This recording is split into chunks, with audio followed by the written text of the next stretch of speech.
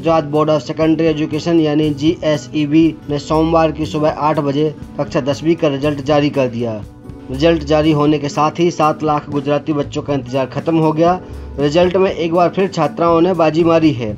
उनका पासिंग प्रतिशत नवासी दशमलव दो तीन प्रतिशत है, जबकि लड़कों का पासिंग प्रतिशत चौरासी दशमलव छः सात प्रतिशत रहा है।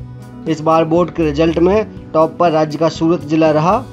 यहाँ के छात्रों का रिज़ल्ट पचहत्तर दशमलव छः चार फ़ीसदी रहा, जबकि रिज़ल्ट में सबसे निचले पायदान पर पाटन जिला रहा है। यहाँ के छात्रों का रिज़ल्ट सबसे कम चौवन दशमलव दो नौ फ़ीसदी रहा है।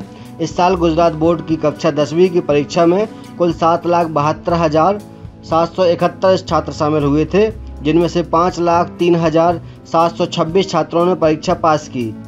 इस साल बारह हज़ार नब्बे स्टूडेंट ने ए ग्रेड, बावन हज़ार नौ सौ बानवे को ए ग्रेड टू तिरानवे हज़ार छः सौ दो को बी ग्रेड वन और एक लाख तीस हज़ार संतानवे को बी टू ग्रेड मिला है।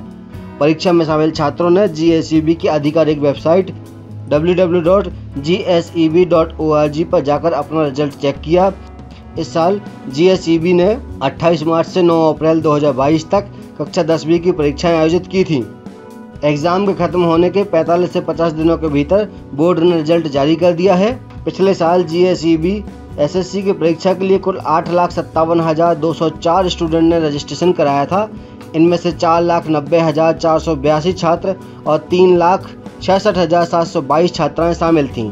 कुल आठ लाख सत्तावन हज़ार छात्रों में से सत्रह हज़ार एक सौ छियासी ने ए वन, सत्तावन हज़ार तीन सौ बासठ ने ए टू, एक लाख नौ सौ तिहत्तर ने बी वन, एक लाख पचास हज़ार चार सौ बत्तीस ने बी टू एक लाख पचासी हज़ार दो सौ छियासठ ने सी वन, एक लाख बहत्तर हज़ार दो सौ तिरपन ने सी टू और एक लाख तिहत्तर हज़ार सात सौ बत्तीस ने डी ग्रेड हासिल किया था।